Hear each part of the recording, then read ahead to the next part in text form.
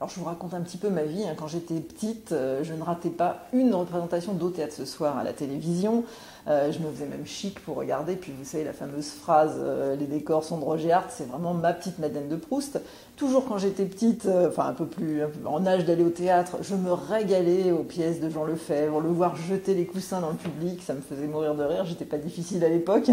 mais, mais voilà, ça c'est quand j'étais petite. Et puis petit à petit, je me suis aperçue en lisant des auteurs comme Jean Hanouille, Monterland, parce que quand même j'ai un petit peu lu, hein, j'ai un petit peu de culture, je me suis aperçu qu'il y avait des bonnes pièces de boulevard, mais il y en avait aussi beaucoup de mauvaises. Donc maintenant, quand je vais voir une pièce dite de boulevard, toujours un peu d'appréhension. Euh, là, euh, j'ai été voir au théâtre du Palais Royal, qui est le temple du boulevard, une pièce qui s'appelle Le Technicien.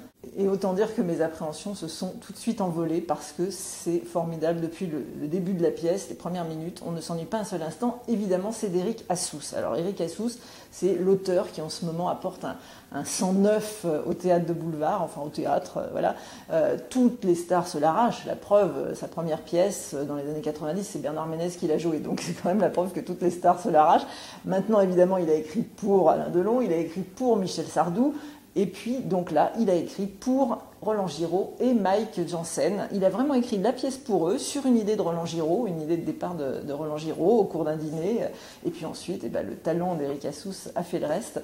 Alors, c'est l'histoire en fait d'un homme autant dire même, allez, appelons-le un salaud, qui a quitté sa femme, sa vieille femme, pour une plus jeune, c'est un truc très très original, et il est parti avec les économies, c'est quand même plus sympa, et il revient 20 ans plus tard, euh, parce qu'il a perdu sa jeune euh, compagne, et enfin, elle n'est pas, morte, hein, mais elle l'a quitté elle aussi, euh, et son emploi, enfin, il est limite SDF, et il revient un peu culotté voir son ancienne femme en lui demandant du boulot.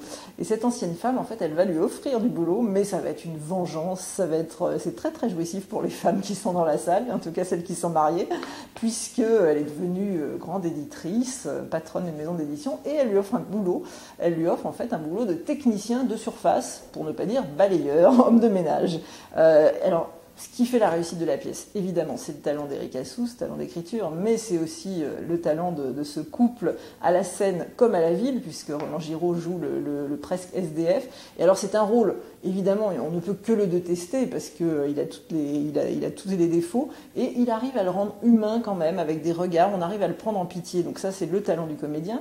Et puis alors, il y a la découverte de la pièce. Évidemment, elle n'a pas l'âge d'être une débutante, mais euh, on l'a pas énormément vue au théâtre. C'est Mike et Janssen, donc l'épouse de Roland Giraud, et c'est une tornade, un ouragan. Euh, c'est euh, Jacqueline Maillan qui aurait fauté avec avec Darry Cole. Enfin, c'est voilà une puissance comique énorme.